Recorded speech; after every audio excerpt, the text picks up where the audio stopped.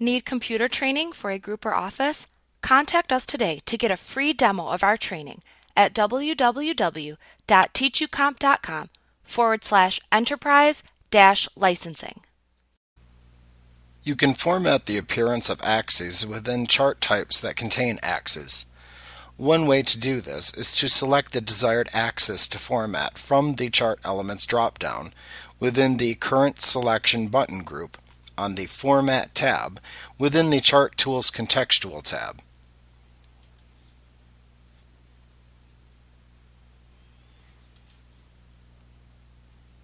Then click the Format Selection button that appears below that drop-down menu within the same button group. Alternately, you can simply right-click on the desired axis to format within the actual chart, and then select the Format Axis command from the pop-up menu that appears.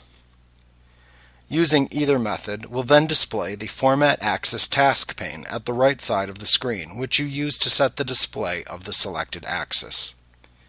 Within the Axis Options category, which is shown by default, you can set the values to display within the selected axis.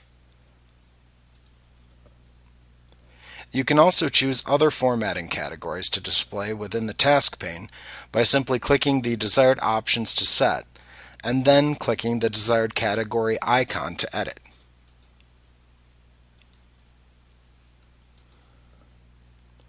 The formatting options for the desired category are then displayed in collapsible and expandable lists at the bottom of the task pane.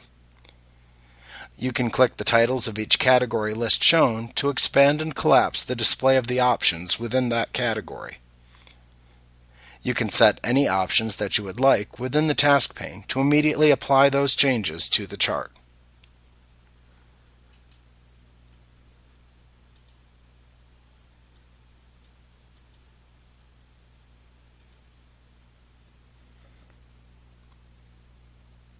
Now when you're finished, simply click the X in the upper right corner of the task pane to close it. Like what you see? Get a free demo of our training for groups of five or more at www.teachucomp.com forward slash enterprise dash licensing.